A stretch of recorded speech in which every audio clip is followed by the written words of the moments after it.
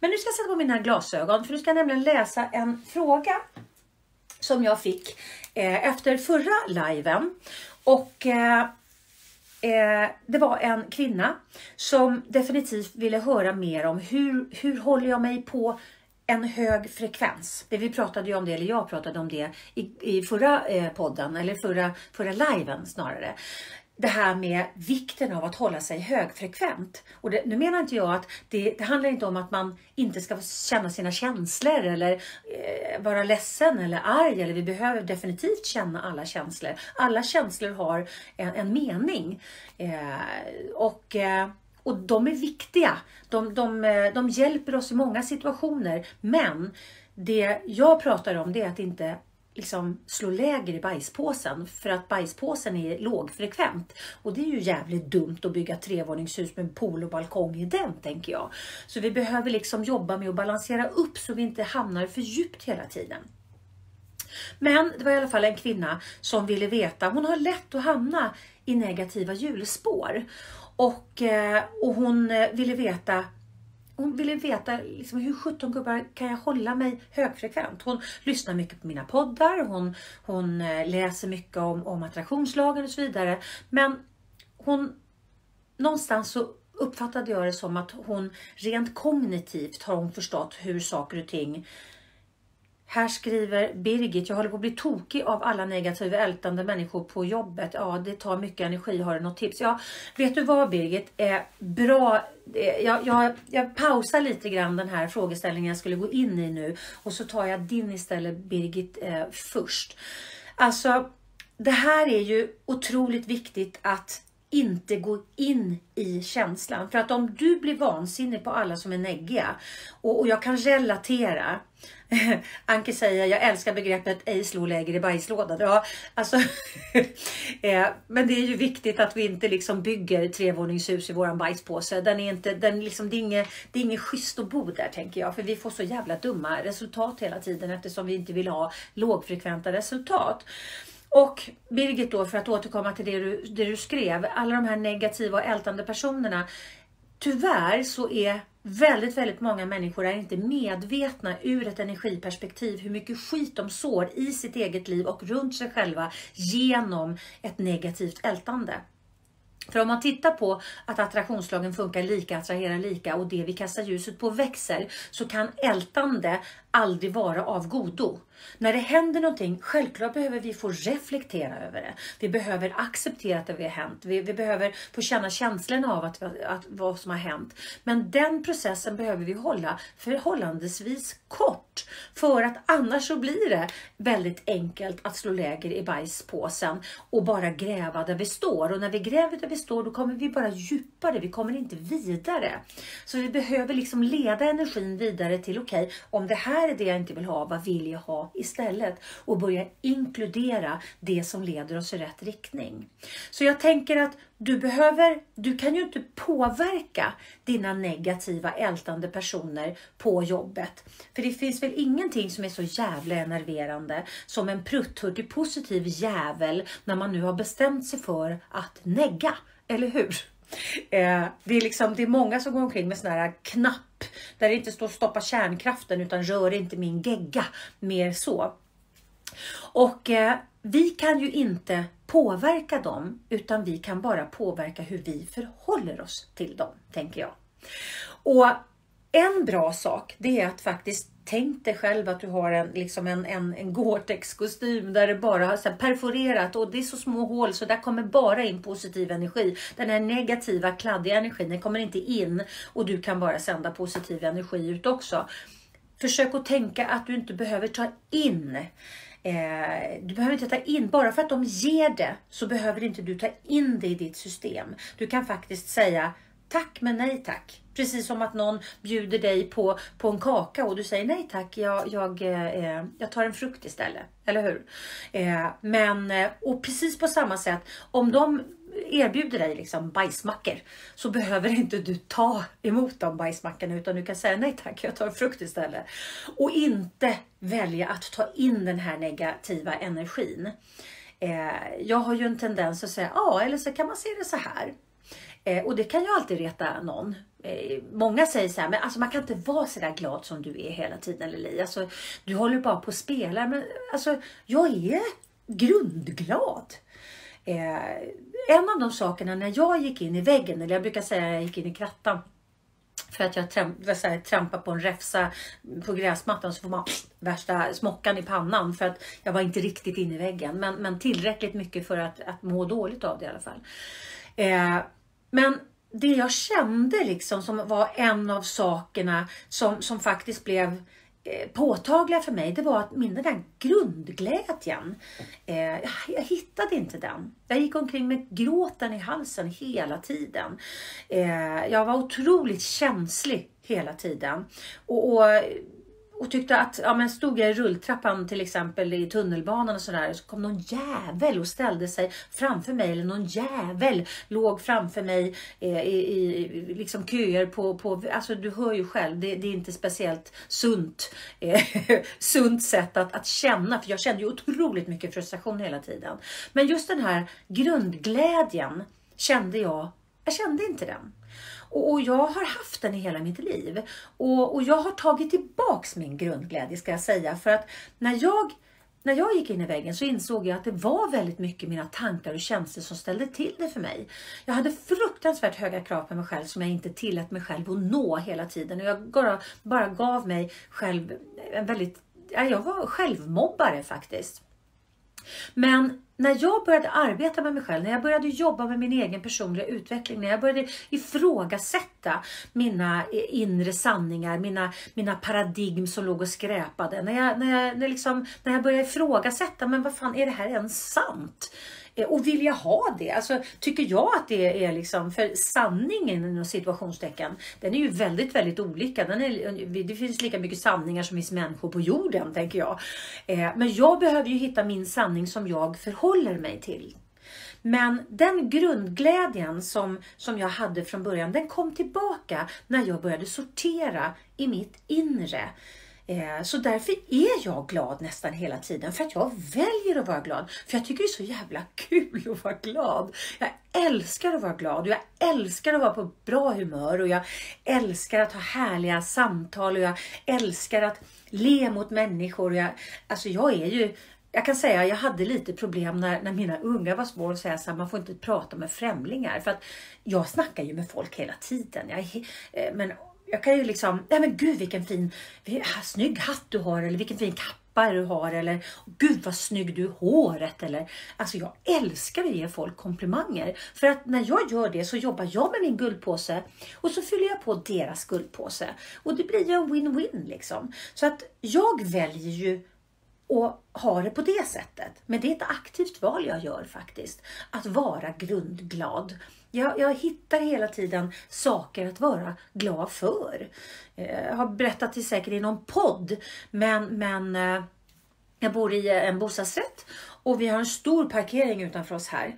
Och när jag kör ut på en, det är en rätt vältrafikerad väg utanför våran parkering. Och när jag svänger ut på den vägen och det inte kommer någon bil utan jag får fri lejd, då tackar jag för positivt flow. Varenda gång jag svänger ut från min parkering. Och det sätter ju an en härlig känsla i magen på mig. Så jag tänker Birgit, för att komma tillbaks till dig och dina neggisar på, på jobbet. Du behöver hitta ett sätt att faktiskt förhålla dig till dem utan att ta in deras energi i dig. Och hitta saker och lägg ner i din guldpåse istället. Så varenda gång du hittar, varenda gång någon neggar i närheten av dig, så hitta någonting och lägg ner i guldpåsen. Så att du liksom får en, en, en, en rörelse av det. För då, då är du upptagen med en annan tanke tänker jag. Eftersom du letar saker att lägga i guldpåsen samtidigt som, du, eh, som, som de håller på och neggar. Eh, och det handlar inte om att inte du lyssnar utan det handlar om att du inte tar in utan du sålar, du, du liksom sätter på ett filter. Du sätter på ett bajs, bajspåsefilter helt enkelt. Det är kanske det vi ska, det, det jag ska sälja. Eh, inte sådana munskydd utan bajspåsefilter. Ha, fan, det är en ny, ny affärsidé. Men för att komma tillbaks då till den här kvinnan. Jag hoppas att du kände att du fick någon typ av tips Birgit på att, att eh, det handlar om att du väljer vad du tar in i dig själv. Bara för att någon ger en bajsmacka till oss betyder inte det att vi behöver faktiskt säga ja, jag måste ta den här. Utan du kan välja att inte gå in i känslan. Och det kallas för att avidentifiera sig eh, själv. Och Kenneth säger man kan fokusera på de positiva arbetskamraterna istället. Det var ett väldigt bra tips Kenneth tycker jag. För jag tänker att ja, man blir ju som eh, Ja, vad bra Birgit. Det, det gäller att bli guldpåsen, påminna om guldpåsen. Glömde bort det. Men alltså bra. Eh, gör, någon, gör någon typ av trigger så, så att du gör så du kommer ihåg guldpåsen. För att den är bra att jobba med. Eh, och, och, jag håller med dig Kenneth. Jag fokuserar ju på alla de här positiva sakerna som jag tycker är härliga att tänka på. Och det betyder inte det att det, det inte händer saker i livet som, som suger även i mitt liv. Men väldigt, väldigt ofta så är det mer härligheter än dåligheter. Och jag träffar mer härlighet, äh, härliga människor än, än äh, knickedickor. Jag har en, en bekant som utgår ifrån att alla idioter till motsatsen är bevisad och jag kan säga att eh, så många idioter som hen träffar per dag har jag inte träffat i hela mitt liv. Men det handlar ju om vad jag väljer att lägga mitt fokus på, tänker jag. Men den här kvinnan då, då eh, som jag pratade om förut, för dig som har precis kommit in så började jag prata om en, en fråga som jag fick eh, under, eller, eh, efter förra liven. En kvinna då som ville ha tips på hur man kan hålla sig högfrekvent. Hon har, hon har en tendens till att hamna i negativa tanke och känslomönster. Och eh, nu är hon på väg i, in i en relation. Hon har en relation med en, en man i ett annat land. Eh, och de är på väg in i en relation. Och hon säger att det dyker upp massa surdegar i liksom gamla relationer, gamla rädslor och så vidare. Och, och där blir det otroligt påtagligt tänker jag. Om man, om man är otrygg eh, i sig själv att man har då sin partner i ett annat land och så ska man vara eh, trygg i det. Eh, och är man inte trygg i det, då är det väldigt enkelt att man börjar plocka fram massa gamla referenser från tidigare relationer och så spökar de och sen så blir man rädd för saker som kanske inte existerar ens en gång. Men bara för att de inte existerar betyder inte det att de inte känns. För att grejen är att vi har ju bara ett nu, som jag sa förra gången, men det tål att, att eh, faktiskt påtalas varje gång. Vi har bara ett nu. För att när vi tar vårat sen hit så är det här som det blir aktivt och börjar vibrera och dra till sig det som ligger på samma vibrationsfrekvens och sänder. När vi tar vårat då hit så är det samma sak. Så allting som vi tar till vårat nu blir aktivt i vårat nu. Och när vi reaktiverar en tanke så reaktiverar vi även känslan som hör till. Så att även om du har massa skit, eh, liksom referenser sedan 36 år tillbaka, när du tar dem hit och börjar tänka på dem så får ju du en känsloreaktion som hör till. Eller du oroar dig för framtiden. Ja, då får du ju en känsloreaktion på det och den är ju här, den är ju faktisk och den är nu och den är i livesändning precis som jag lajvar nu. Eh, så att, eh, så att när, när du då eh, och jag hoppas att du lyssnade eller du kanske efterlyssnar du som, som skrev den här frågan till mig. När du då kanske börjar plocka fram de här gamla referenserna om, om surdegar eh, i dina relationer tidigare då. Och så är du inte riktigt trygg för att ni befinner er i olika länder, vilket betyder att du, du kan inte läsa av de här små detaljerna som man faktiskt får när man är nära en människa.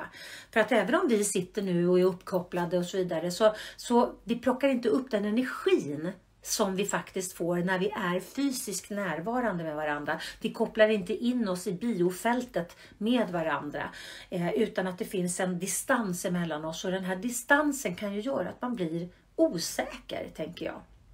Och det är någonting som vi behöver ha med oss i hela den här, i hela den här perioden som vi är inne i nu när vi är nödda och tvungna att faktiskt ha väldigt mycket av våra samtal eh, just via eh, Skype eller live eller Zoom eller vad det kan vara för någonting. För att det är väldigt små nyanser som, som vi plockar upp i vanliga fall som faller ur. För att det kanske är dålig uppkoppling, man hör inte riktigt, det, det liksom sprakar eller vad det nu kan vara för någonting. Man sitter för långt ifrån kameran eller man är många i liksom, många bilder som man ska snappa upp och, och, och då får vi inte med det här subtila eh, som vi faktiskt får när vi är eh, fysiskt närvarande.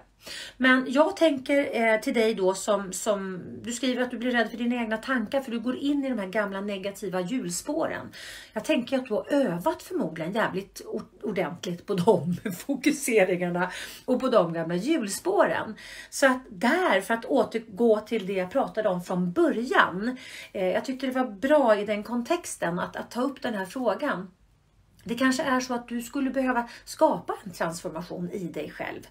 Eh, för att inte gå in i samma eh, julmönster igen, för att inte gå in i samma rädslor, för att inte aktivera samma rädslor. Och någonting i dig behöver ju transformeras för att du ska kunna hitta den här, tryggpunkt, eh, den här mittpunkten och din inre trygghet i den här eh, relationen, tänker jag. Eh, och i relationen till dig själv. För att om vi inte är trygga med oss själva, vi är inte, är inte medvetna om våra egna reaktionsmönster, om vi inte är medvetna om vad vi har för behov för att vara intakta och, och, och känna oss balanserade, då är det jävligt svårt att se till att vi får det vi behöver. Eller hur?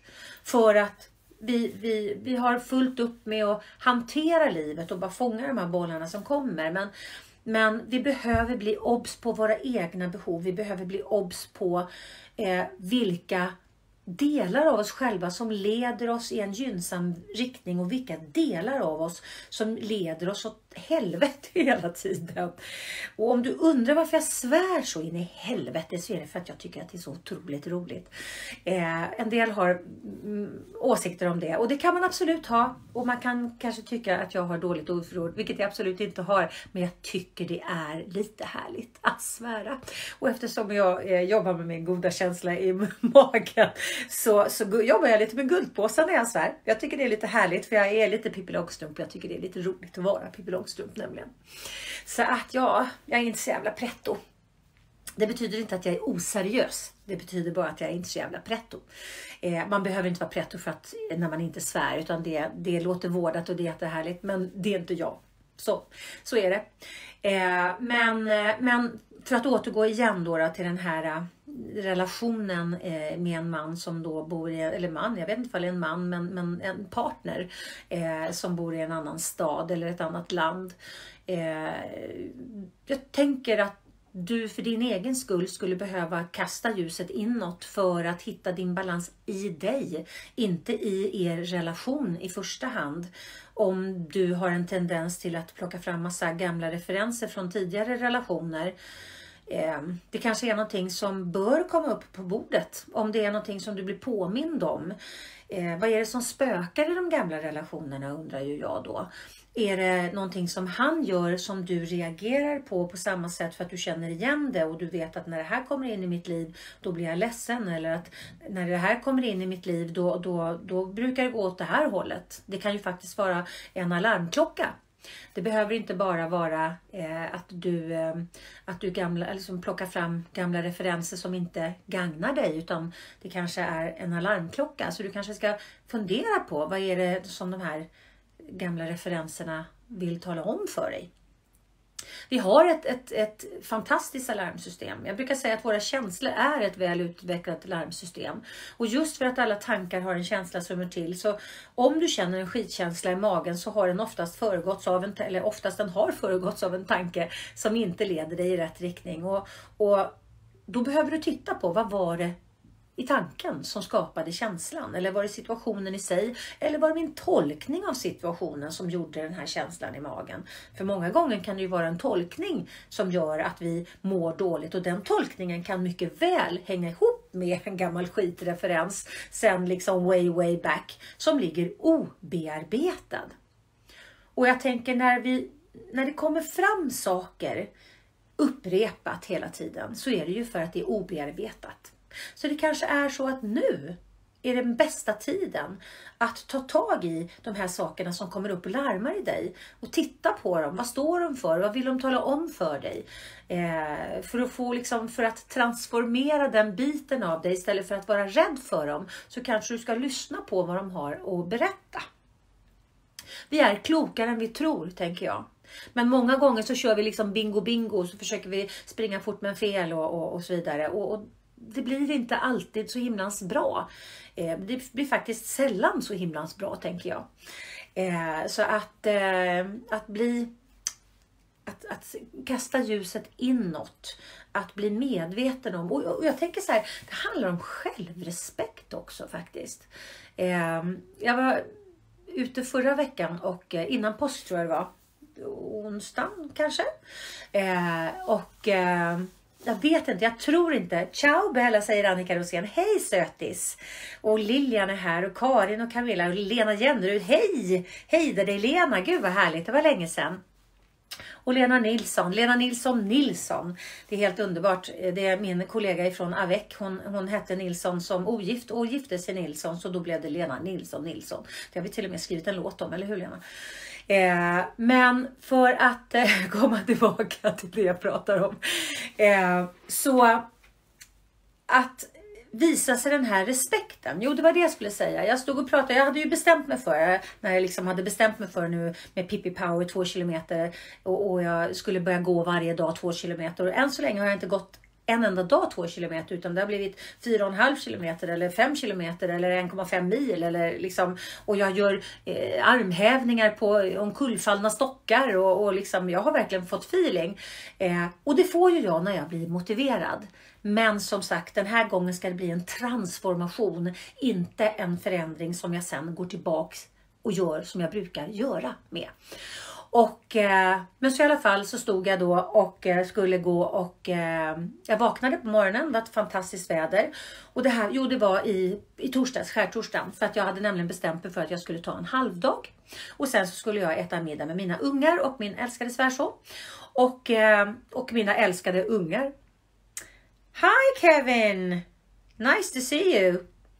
Eh, och eh, eh, så jag vaknar och så tänker jag så här, ska jag ta den här powerwalken nu? Eller ska jag ta, ska jag, men jag, jag jobbar till två. Och då hinner jag gå ut och sen så ska jag laga mat och sen så skulle ungarna komma och så vidare. Så tänkte jag så här, nej du din lilla jävel. Det där känner jag igen. Det där är prokrastinering. Och det ska vi inte syssla med. Så att jag talade vänligt men bestämt om för mig själv att nej, jag sa till på skarpen. Skarpen sa jag. Och klädde på mig och gick ut och tog min powerwalk på morgonen. För att någonstans hade jag inte börjat liksom överhuvudtaget titta på att bli någon som faktiskt kan. För nu är jag inne i den här fasen att nu har jag blivit, jag håller på att bli, jag ska inte säga att jag har blivit, jag håller på att bli den här personen som faktiskt är motiverad att gå ut varje dag. Till och med två gånger om dagen var jag ute igår eh, för att få ihop mina steg. Då behöver jag ju bli den här människan. Men den har jag lätt att bli eftersom jag är en processstyrd människa. Så jag har eh, lätt att gå in liksom att hull och hår. När jag väl är motiverad så går jag in så in i helvete. Men jag behöver ju bli den transformerade Lili för att det här blir någonting som håller över tid. Så att om du tittar på dig och du tittar på de sakerna som inte funkar i ditt liv, där du får sak, hela tiden resultat som du inte är nöjd med och som du kanske sysslar med lite självklander. Åh fan också. Åh, varför gjorde jag så där nu då? Tänk att jag alltid ska. Eller åh, varför gjorde jag inte det?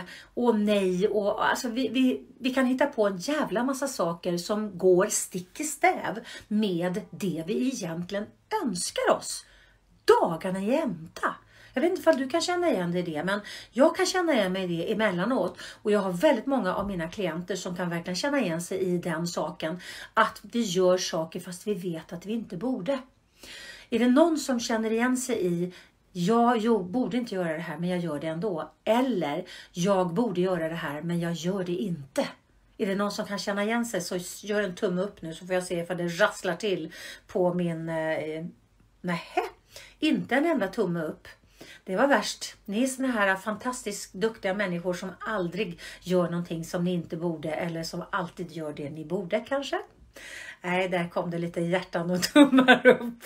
Jag tänkte, jag kan inte vara ensam om att vara människa. Eh, men, men om vi blir lite obs på de här beteendena som vi har som inte leder oss i den riktningen vi vill ha. Nu kommer det massa tummar. Gud vad härligt. Heja, heja, heja. Ja, det är bra. Det jätte, känns skönt att och, och, och känna att jag var i, eh, tryggt sällskap med massa människor som är mänskliga. För det är ju mänskligt naturligtvis. Och, och grejen är att det är typ tre, pers eh, tre personer, nej, det är ungefär tre procent av mänskligheten som, som sysslar, alltså gör medvetet arbete. Att, eh, att, att arbeta med sig själva, med sitt inre. Och nu menar inte jag med att, att eh, eh, bli duktigare på någonting man gör eller att gå ner i vikt, eller, utan jobbar med sitt inre, alltså med, med, med sina inre sanningar och inre paradigm och, och sina eh, beteenden och att man verkligen gör ett, ett, ett personligt arbete med sig själv. Och, och, och, vågar lyfta på de här stenarna, vågar titta på de här sakerna som kanske inte är så jävla gulliga eh, i sig själv. Men att man faktiskt vågar titta på dem och, och kanske ifrågasätta sig själv. Okej, okay, varför, varför accepterar du det här Lili? Eh, varför är det här ett acceptabelt beteende som du bara låter pågå? Och när jag gick in i krattan så eh, för er som har kommit in på, på slutet här nu så, så jag brukar säga det istället för att gå in i väggen. För jag, jag var inte riktigt inne i väggen utan jag var inne i krattan. Men då utvecklade jag en lek som jag kallade för vänskapsleken. För att jag hade så fruktansvärt höga krav på mig själv. Och idiotförklarade mig hela tiden. Vilket gjorde att jag var liksom tvungen att ta en lov utanför mig själv för att liksom få, få kläm på vad är egentligen acceptabelt och, och kräva av sig själv. Och, eh, och då i alla fall så, så brukade jag fråga om jag ställde till exempel skulle jag säga jag sa massa taskiga saker om mig själv och sen så, så valde jag någon av de taskiga sakerna och sen så skulle jag säga det så valde jag någon som jag tyckte väldigt mycket om eller älskar eller så. Eh, nej, verkligen inte. Nej, okej. Okay. Varför då? Och jag hade, alltså, det var ju självklart för mig. men det är klart att jag inte kan säga så till, till den personen. Alltså den personen skulle ju bli hur ledsen som helst. Jag skulle kunna förstöra den personen för livet om jag sa det. Jaha, okej. Okay. Så varför är det då okej okay att säga det till mig själv? Jag var tvungen att ta den giren för att jag skulle förstå att vet du vad, det där är fan inte ett okej sätt att snacka med mig själv. Jag var en sån enorm självmobbare. Eh, och jag tror att det finns många där ute som kan relatera till de här eh, negativa inre dialogerna som förminskar oss. Eh, och det är ju alltså det går 13 på dussinet tyvärr som har den här typen av beteende med förminskande självprat. Men om du skulle titta på hur du pratar med dig själv. Om du skulle titta på dina inre tanke, liksom dina, dina inre dialoger och, och titta på hur du titulerar dig själv och hur du eh, approcherar dig själv och hur du, vad du ställer för krav på dig själv. Och sen så Väljer du en, en människa som, eller flera människor som du älskar och högaktar och kanske respekterar på jobbet eller, eller vad det nu kan vara för någonting. Och så frågar du dig själv, skulle jag kräva det här av den här personen? Skulle jag säga det här till den här personen? Skulle jag säga det på det här sättet till den här personen som jag säger det till mig själv? Eller skulle jag välja andra ordalag? Skulle jag vara mer mån om att faktiskt eh, uttrycka mig på ett sätt som inte var sårande. Även om det var information som skulle behöva liksom sägas. Skulle jag eh, göra, lägga mig vinn att, att prata giraffspråk istället för vargspråk. Vargspråk är ju anklagande. Du gör, du säger, du är. Och giraffspråk är mer jag känner att, jag upplever att och så vidare. Vad händer om du skulle börja liksom snacka giraffspråk med dig själv? Tror du att det skulle hända någonting i din känsla i magen?